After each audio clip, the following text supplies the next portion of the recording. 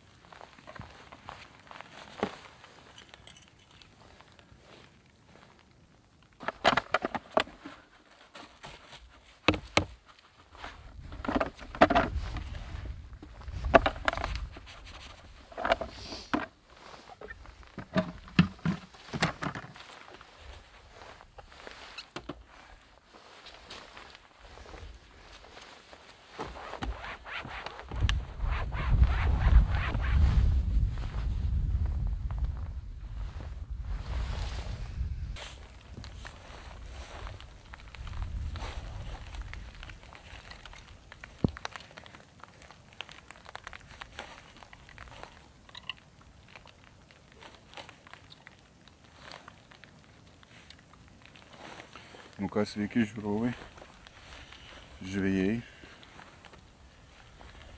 Esu vėl prie vandens ir šiandien atsidarinėjau feederio atviro vandens sezoną.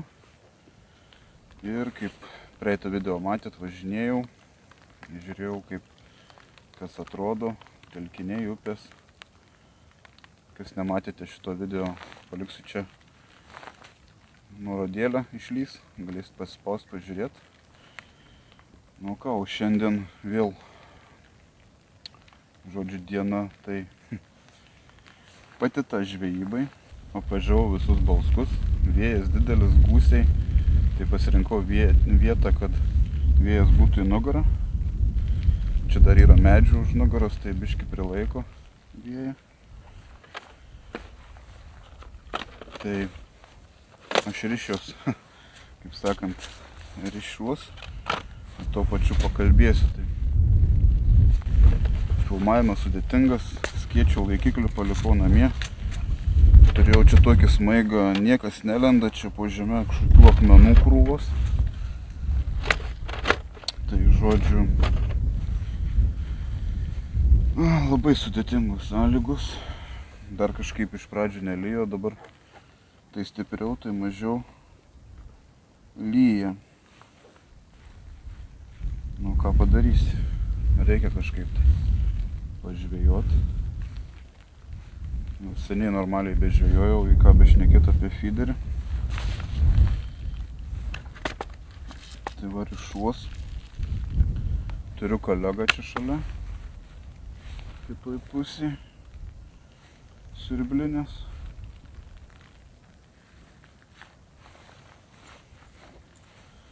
Kaip matėt, susimaišiau jaukus paprastus ežerą tiesiog. Nepyliau nei aromos, nieko, nei žemių, tiesiog vienu jauku gaudysiu. Turiu matyliaus, dzikų, pinkų.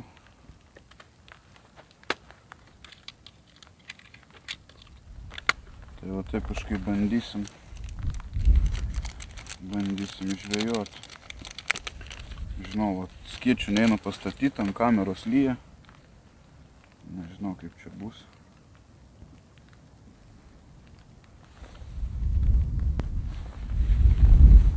Bet tikiuosi bent kažką pagauti. Kad ir smulkmės. Kolega pagauna, ten žibriuką, tai plakiuką. Tai manau, atidarimui pats gazas. Dabar tokie orai, kad, kad, kad, kad nei ant ledo, upės šniokščia. Lyja, žodžiu, vandens daug. Patys balskai irgi patvinę, o pilo šis lietus. Nežinau, kaip čia bus. Sistemą ryšos iš karabiniukas, o inlinas bus slankiojantis, gumytė. Ir pririšim feeder gamą. Tik feeder gamą reikia susirišti. Čia yra vienetukas. Feeder gamą rišiu iš 0,8. Nestora.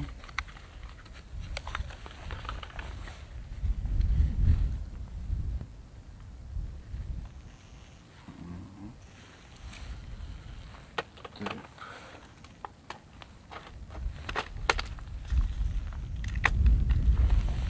Karoliukas.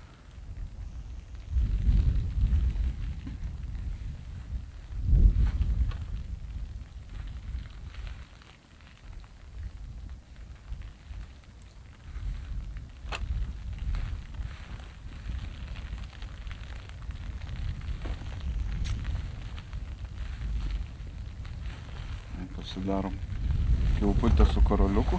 Per karoliuką kišim pintą valą.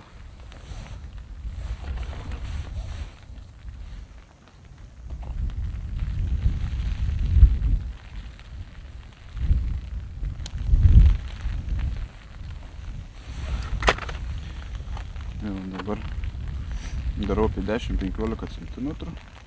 Šryklos bus nedidelės, atvodo nenaudosiu. Gali iš atvodo praktiškai niekada nenaudo- nenaudoju.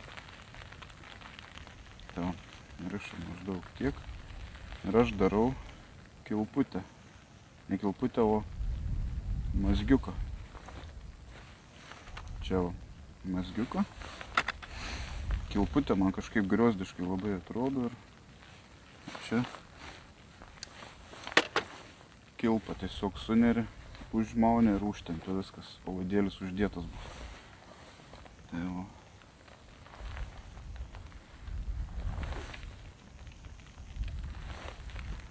Na, o dabar.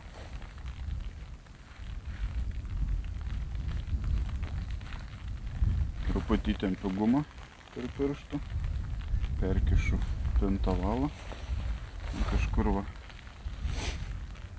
10, 20, 20 kažkur centimetrų aštuoniukę surišu.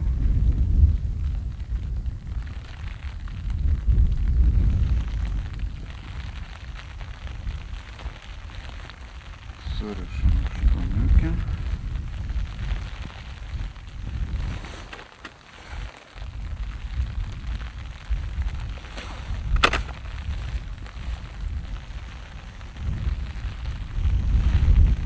gumikę partempiam iki čia. Karabinas.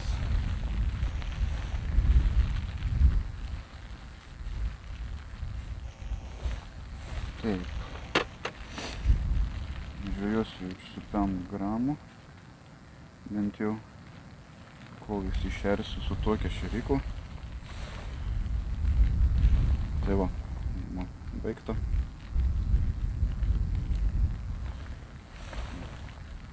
turi guma būti žemiau sukabin, nu, vieta, kur susikabina su, su pavadėliu, būti, turi būti žemiau šeryklos. Realiai čia dar galėjom ir trumpesnį daryti. Bet kita vertus būna kartais ar guma dėl kažko tai pasižeidžia trūksta, tai tu tiesiog suriši aukščiau mazgelį toliau žvejoji. Na ir va, galim aukščiau surišti. Jau turim biški viršaus, kaip sakant.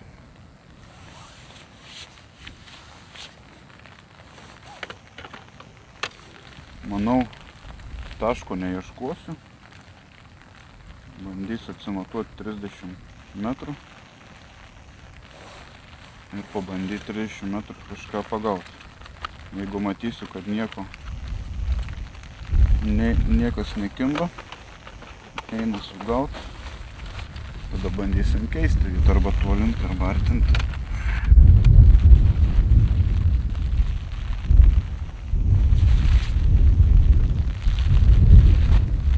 Tai pavadėlius reikia nešti.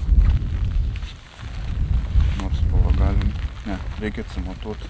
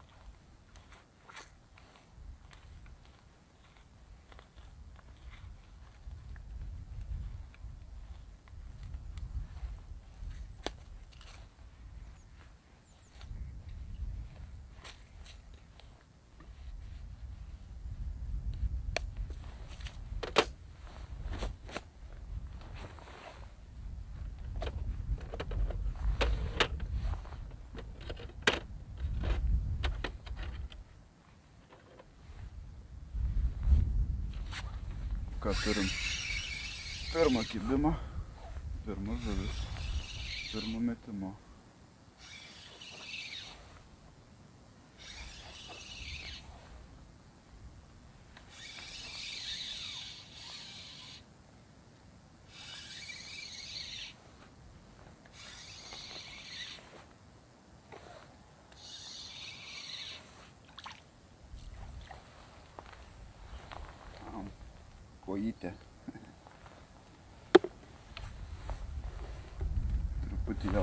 Jauką suspaudžiau per stipriai. Nieko.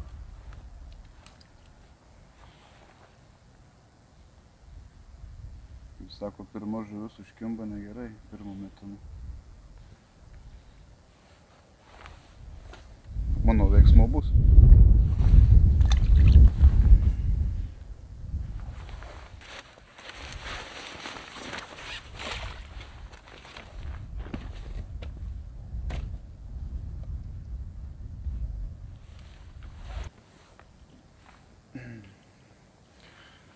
Kabliukas labai mažas.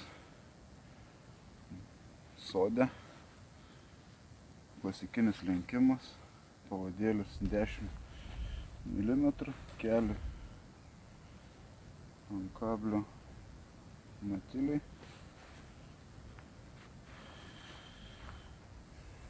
Aišku, reikės pa, pavarijuoti masalais.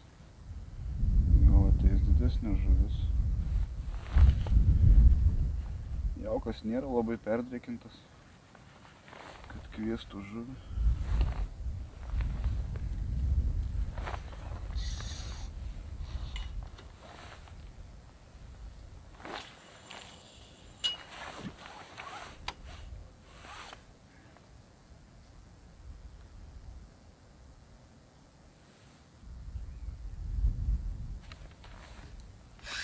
Ką, antra žuvis?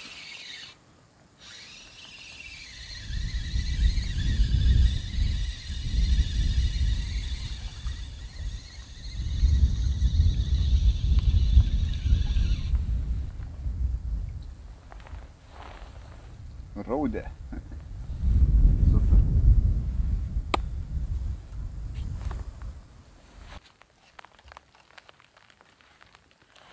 Žodžiu, kimba ant visko. Tai kažkaip. Arba ten kliudinys geras yra. Nesuprantu.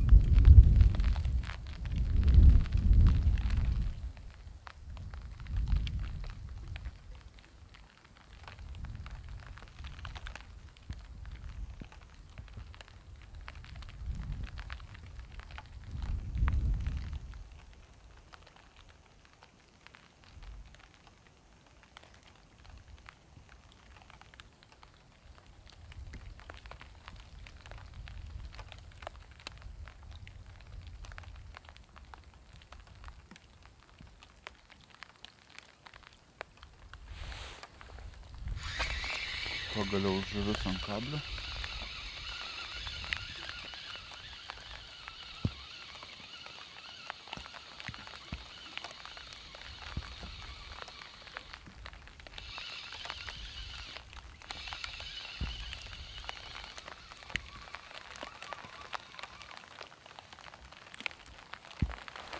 O, lakis išverstakis.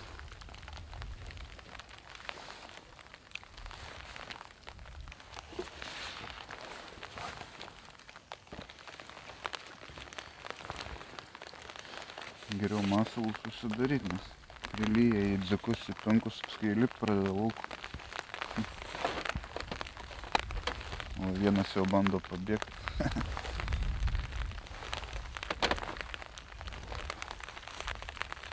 Tai jau turėjom kuoją.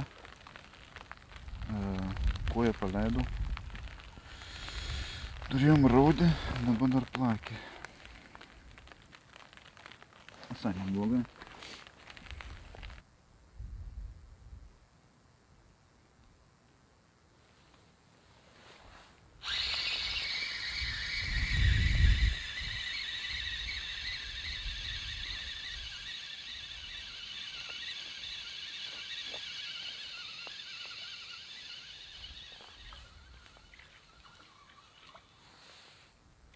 Oho. Kai čia toks riešinas. O, turim fishą. Balskų. Lakis. Biškyrėje.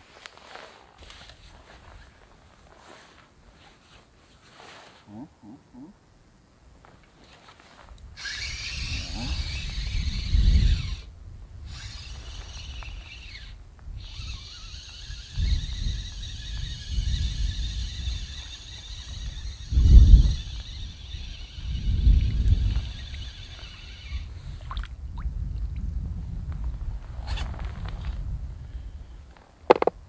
Nu ką veiksmų turim.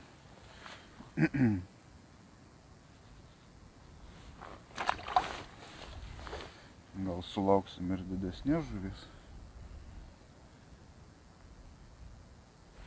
Bet jau atidarimas įvyko.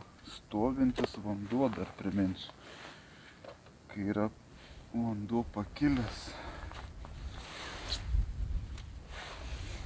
Ką? Na, tu turbūt tuščia čia vyko.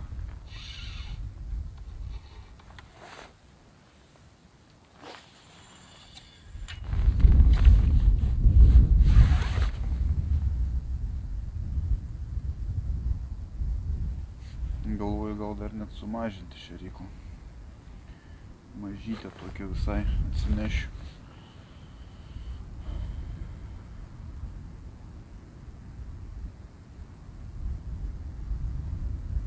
Žuvis pilnai atsistojo tašką.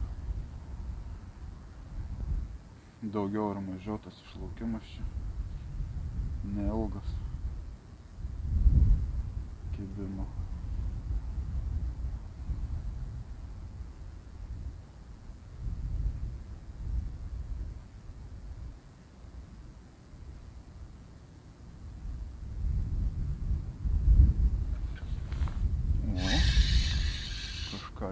Buyurun.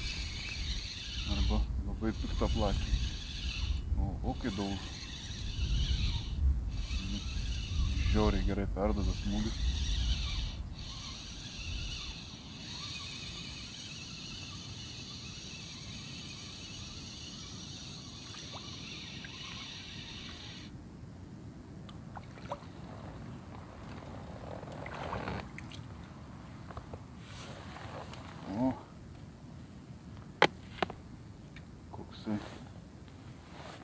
lakis.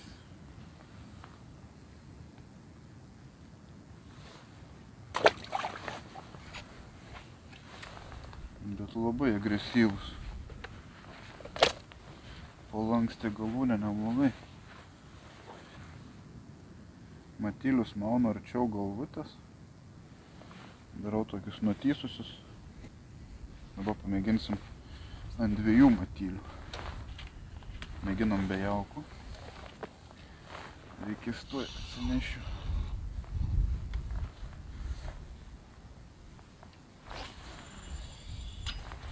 Mažesnė šėrykla. Esmė mažesnė šėrykla dar dėl to, kad aišku neperšertų žuvies. Bet kadangi ir jauko daug neturiu, bet jeigu bus labai aktyvi žuvis ir žuvis užduoda tempą, kaip matot, vos ne kiekvienu metimu žuvis. Tai realiai gali būti, kad žuvis labai aktyviai maitinasi. Ir kad man tik palaikyti tenais jauko po truputį. Tada aš pasikeičiu mažesnę mažesnę šėryklą ir tada po truputį tą jauką paduodi. Tau taip kiekvienu metimu nesinaudoja labai jauka. Iš- Užtenka ilgesniam laikui.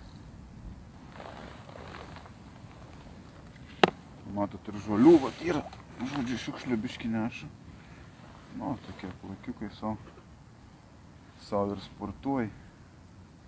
Aišku, iš po ledo gal ir smagiau tokius traukti. Bet kadangi jo nėra pas mus, netgi prie namų pas manęs mačiau jau vanduo vėl visur. Žodžiu, žodžiu, žiemos dabar Lietuvoje tokios, kad nesvarbu, ar pridirbė metrą sniego, ar užšalo vandenis ir yra ledas, ar 10, ar, ar, ar 20, ar 30 cm. Bet kurią dieną gali užeiti šiluma ir visa tai dings. Ir važiuosim sausio mėnesį. Šiandien yra sausio 14, bet to, kai žvejoju, vakar minėjom tėvynės gynėjų dieną, sausio 13. Ai tiesa, čia pagalvojau ant dviejų matylių. A, gerai.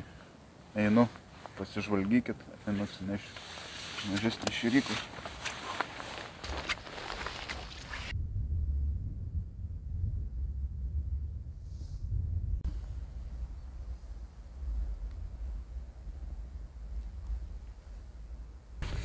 Nu, va. atsinešiau tokias va. Nežinau, matosi ar ne. Viena keturių, kita trijų. Tai dėsiu tą mažesnę. 45 gramai.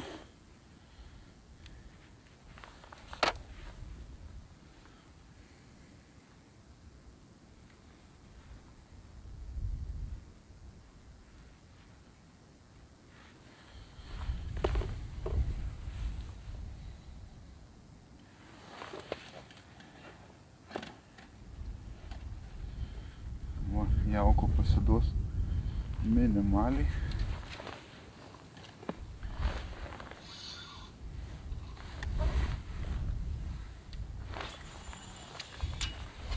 Tašką užmetam. Be problemų.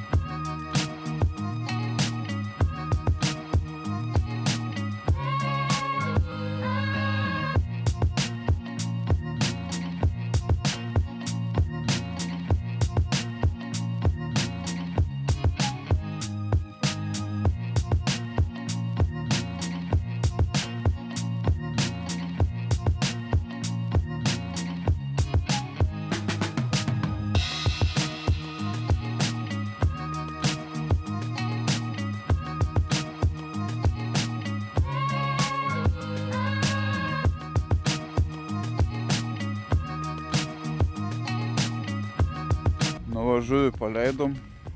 Smagu buvo atsidaryti. Super, man patiko. Neskaitant blogo oro, lietaus. Na, mes lietaus nebijom. Piktų plakių prigaudėm. Sakant, atidarimas įvyko. Aišku, visada galima kažką tai geriau padaryti, kad ta žuvis geriau kiptų. Galbūt reikėjo bandyti antrą kotą, bet patinkėjau. Gal būčiau tolimesnį tašką kokį užsišėręs, gal būtų koks karšis. Bet, skau, tokiu oru, lyja lietus ne visada. Ne visada tas, kaip sakant, tinginys nugali. Ir, bet, kaip pirmam atidarimui fiderio sezonui 23 metų, tai manau puikiai. Pasportavau, pagaudžiau. Aišku, nebuvo, nebuvo lengva į tos pačius plakius gaudyti, nes tai, tai nepasikerta, tai dar kokia nesąmonė, dar kas nors. Tai masalas vėl kitas, tai žodžiai noringiai tie plakiai bulskų. Ką darysi? Kaip sakant, čia žvejyba, tuo jinai ir smagi ir įdomi, kad niekada nežinosi kaip kas kur. Dar truputį yra čia šiukšlių.